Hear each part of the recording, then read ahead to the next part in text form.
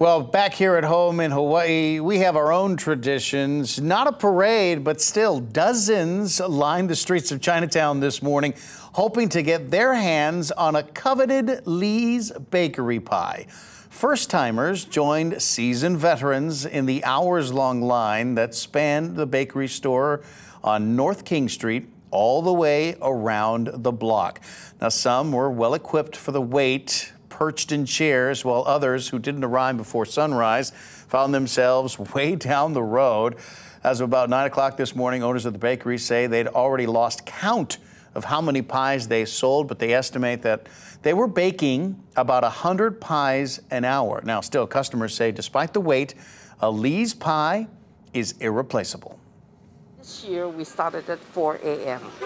The custard pie is the best. I mean, we've gone to several different bakeries all over the island, but Lee's Bakery has been the best, and we've been coming here for years. Um, people that were in front of me, me um, like the first 10, they had come at 2 o'clock in the morning.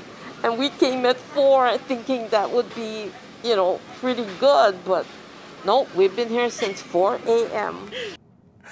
Now, Lee's Bakery is open until 5 o'clock today. They say they're going to just keep baking until they close.